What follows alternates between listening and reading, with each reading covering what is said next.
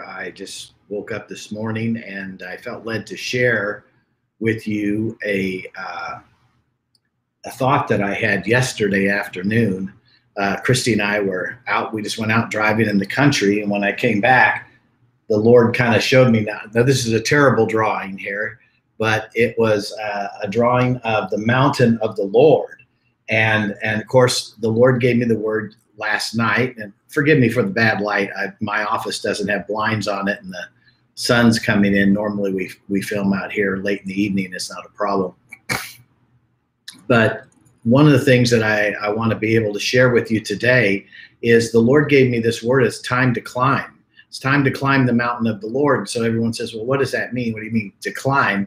And so I'm going to try to build off that because I do sense there's some urgency of understanding the revelatory value of climbing in the Lord because it's connected to it's connected to everything we do. It's connected to our prayers, our proclamations, our decrees, our declarations, supplications, intercession, and our spiritual gifts they all work from a spiritual atmosphere, which we'll call the top of the mountain of the Lord. But a lot of people don't know how to get to that top of the uh, mountain of the Lord. So I had a dear friend uh, text me this morning and said, "I'm praying for you," and and I just got the text in on my phone, and I thought, you know what? I'm, I know we're not like this broadcast isn't uh, announced or anything, but I thought, you know what? I'm going to go ahead and share because I think you need this. I, I think this is this is for you today, and uh, so I just want to be able to share it. I'm not going to take a real long time, but I wanted to share it with you. What she sent me was Psalms 18, 33, and it says, "He makes my feet like the feet of a deer, or like hinds feet. He sets me on my high places." And teaches my hands to make war so that my arms can bend a bow of bronze. And, and uh, there's so much that I'm going to be teaching between now and the end of the month about firing spiritual arrows. These are all arrows, these decrees and proclamations, uh, intercession. These are arrows that you fire in the spirit. That a lot of this terminology may be new new to some of you, but when he says, "I make my feet like a deer's feet," what happens is our our feet in the in the flesh are too big to climb the mountain of the Lord. So he doesn't like shrink our feet, but sometimes it feels like our soul is going through a, like a pencil sharpener and, uh, and, and you're, and, and you're getting whittled down, but it's so that your character can fit into the little, uh, uh, um, what do they want to call it? Like little, little parts of the, uh, in the rock where you can put your foot to be able to stand, even though it's very dangerous. But anyway, I want to just kind of practically share with you what uh, the Lord showed me yesterday when Christy and I were out in the country. If you're going to climb the mountain of the Lord, step number one, step number one is you have to prepare in His rest. Okay, and I'm going to walk you through this in a minute. So you, you everything has to be done from a place of rest. And like I taught last night, there has to be a restructuring. So if you notice, there's rest here as well. So you have rest here, and then you have rest restructure, you have rest here, and then you have restore. And all these has to do with his rest, his rest, his rest. But what is restructure? Restructure means that you have to be structured or in position or in covenant with or in association with a structure of people, uh, you want to call it a network, uh, uh, influencers that are around you that are confirming his rest, helping you stay at rest, and not getting you into disrest. Does that make sense? So you have to have a restructure. And, and so the way like a spiritual covering works, a spiritual covering covers you when you get out of rest so that and but will also speak correction is love. And it will speak correction to get you back into rest so that you can be restored. Because anytime the enemy takes something or steals something from you you have a legal right to put a demand up here in the tops of the courts of heaven. You have a legal right to put a demand on him to pay back seven times. And uh, so anyway, I'm gonna I'm gonna take you just through a prayer in a minute. But first place you start is in His rest. Then you have restructuring, which I can't do that. I mean, you're gonna have to analyze like, okay, what's causing me to speak against my promise? Okay, and uh, and then the next step is to restore. You got to climb to you got to climb this. You got to climb this by faith. Okay, because here's the thing: is it was counted to Abraham Abraham's righteousness, you know, Abraham lied, Abraham had issues, but Abraham, his righteousness was accounted to him because of his faith. So you have to have faith for the restoration to come. And then redeem, redeem, there's only one redemption, and this is the blood of Jesus. Okay. So there, so we're going to do that today. And then when we get to this fifth stage, then what happens is we enter into the mountain we have climbed. The Lord has done this. He says, I've made your feet like hind feet to set you in the high place, in the place where you can pray, proclaim, decree, supplicate, intercession, and other things. But I just had, I ran out of room here. But so that you can do these things effectively, so you actually have deliverables. See, because what happens is a lot of people will will make all these prayers and stuff from this part of the mountain right here you're making all of these uh, and there's not so so here you are you're making a decree here and it's not coming to pass because the people you are networked with or structured with are speaking doubt and unbelief against it. That that's why i struggle personally like and i know many of you do this and you think there's power in numbers and stuff and and that's fine but like if i if i'm going to to move a mountain if i'm going to mountain i only let key people know because I want people that are actually up in this part of the mountain praying. I don't want people who aren't aren't at rest. I don't want people that have bad structures, which means they have no discipline, they have no control over their mouth. They speak against leadership, they speak against they just speak against everything. Well, you know, they need some restructuring and the thing is, they demand to be restored of the Lord, but restoration of the Lord only comes from the blood of Jesus when it's spoken up in this part of the mountain. Everything down here just brings confusion and calamity and noise. That's why the scripture says, I'm going to make your feet like deer's feet, set you on my high places to teach you how to make war. When you make spiritual warfare, the only place you can make warfare is up on the top of the mountain. This is God's mountain up here. This is the only place you can make war. As long as you're out of what rest, your structure is is got sin in the camp, then don't expect to be restored and don't expect redemption of what's been stolen because in order to get to where it is actually redeemed is up here at this part of the mountain. So anyway, let's go there right now for time's sake. I'm just going to share with you how we get there and, and we'll actually do it today so you can kind of have this experience. So we come to you, Father God, in the name of Yeshua. And Lord, we take your precious blood and we cleanse ourselves from the top of our head down to the bottom of our feet. Amen, Lord. And we actually ask you, Lord, to redeem us from all sickness, all curses, hex, and vexes. Redeem us, Lord, from all witchcraft. Lord, redeem us from from anything, Lord, that has that has hindered us from being able to go up and climb this mountain today. Lord, your word says, let the redeemed of the Lord say so. So, Lord, we do, we say so. And Lord, we ask you, Lord, to cleanse us. We confess our sins, confess your faults. Lord, I confess that I'm a sinner. I, I confess that, Lord, sins known and unknown. I ask that you redeem me and cleanse me from my sin. Lord, as I prepare to climb into the mountain of the Lord, I prepare my, I put on the full armor of God. Lord, I, I put on the belt of truth. And I, the belt of truth is that in your rest, and I am structured properly in your apostolic authority, Father God, you will restore and redeem me.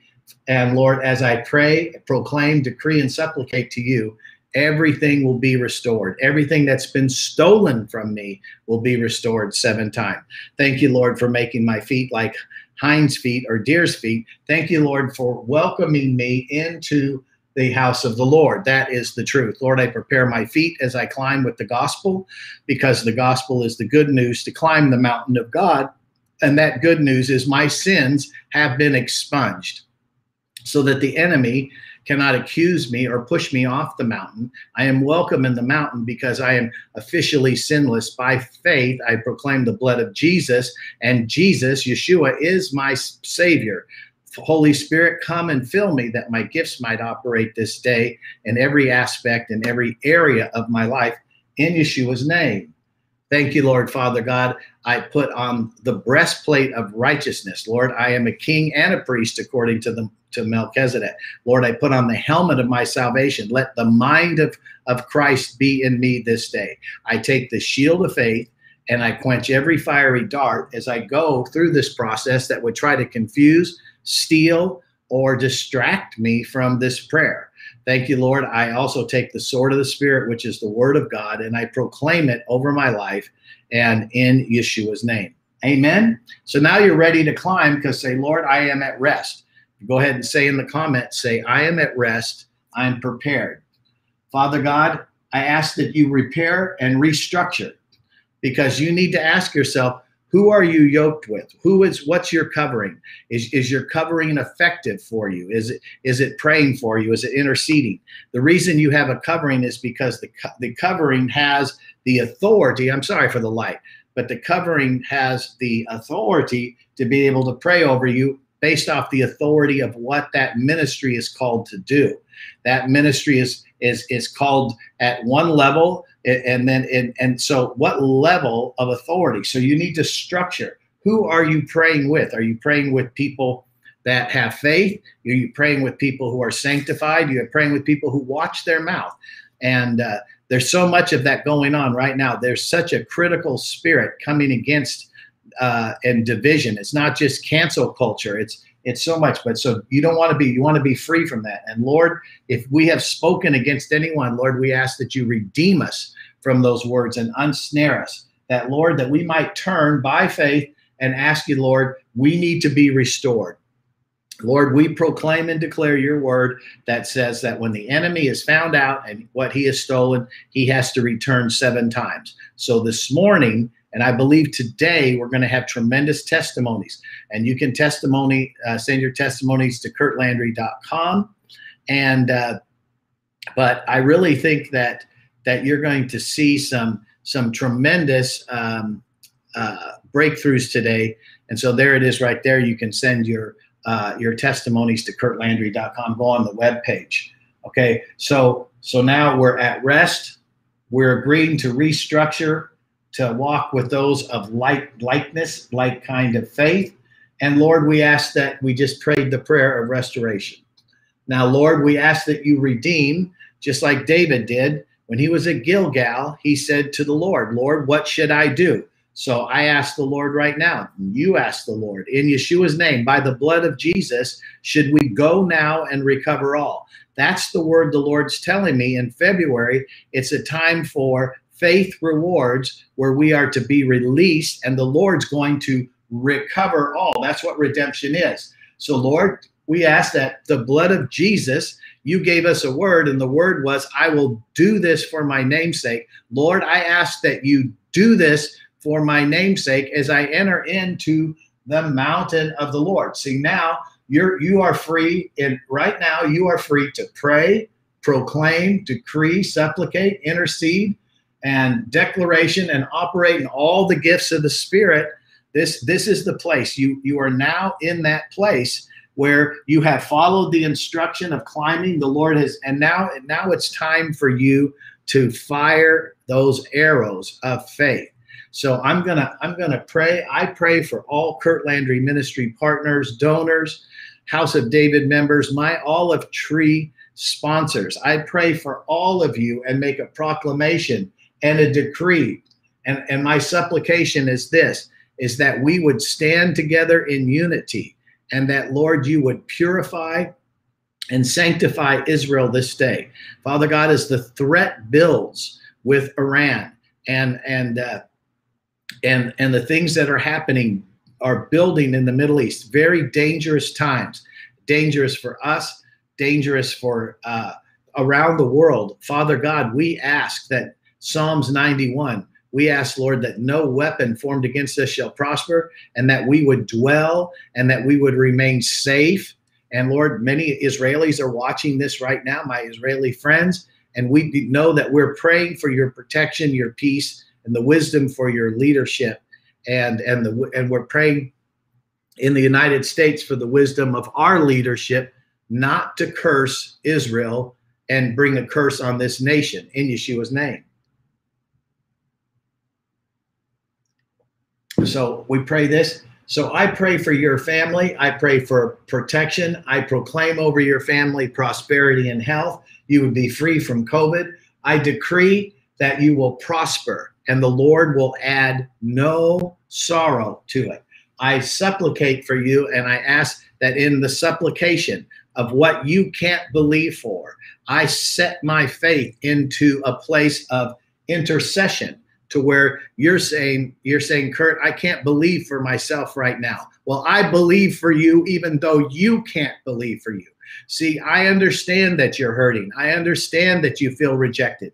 I understand that you feel like you're going around the mountain, around the mountain, and you never get to this place. Well, I pray that the Lord will make your feet like a deer's feet and take you to his high places every single day of your life.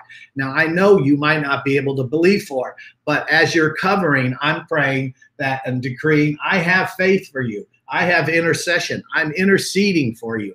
I have intercession for this nation. I believe there's major breakthroughs coming in this nation. I am not discouraged. I am I I was discouraged. I am not discouraged. God is going to shout. God is going to speak. God is going to intercede. I want my faith to be like Abraham's faith, where it is accounted righteousness for us, for Curt Landry Ministry partners and Curt Landry Ministry donors, all of you at House of David, my olive tree, all of you, let's join together in faith and in supplication, interceding.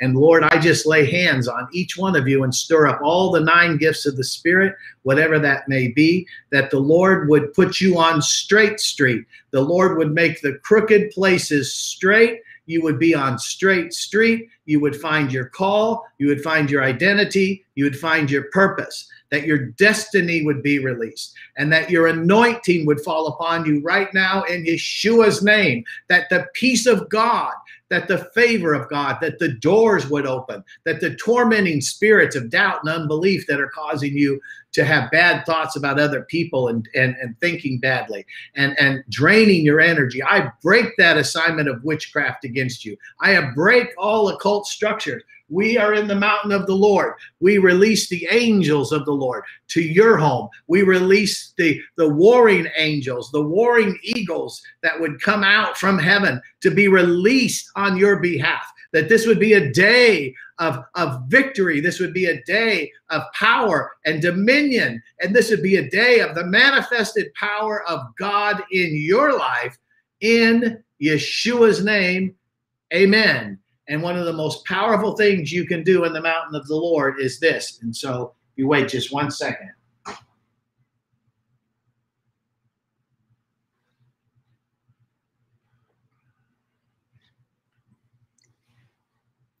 I'm going to go ahead and blow the shofar uh, for you. But if you have your shofar nearby, let's go ahead and grab it. And if you're watching this later in the day, please just come in agreement and let's give it a blast. Ready?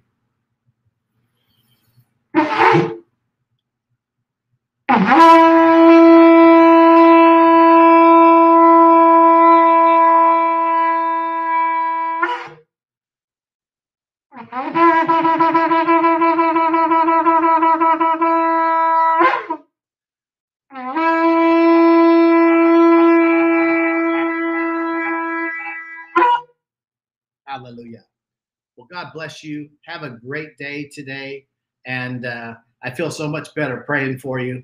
Uh, anyway, join me Thursday night at 7 p.m. Central, and we'll be bringing the word of the Lord again. I apologize for the sun coming in the window. I was going to wait, but the Lord said, "No, pray now." Somebody needed this prayer right now, and and you need this day. This day, we proclaim over this day. Let's see, I don't even know what day. Oh, February the third, the twenty-first of Shevat, fifty-seven eighty-one we declare in Yeshua's name that this is the day where we have a lifestyle of climbing the mountain of the Lord. we will enter his rest. We will restructure our life with people who have faith, like kind faith. And when we do that, we will be restored.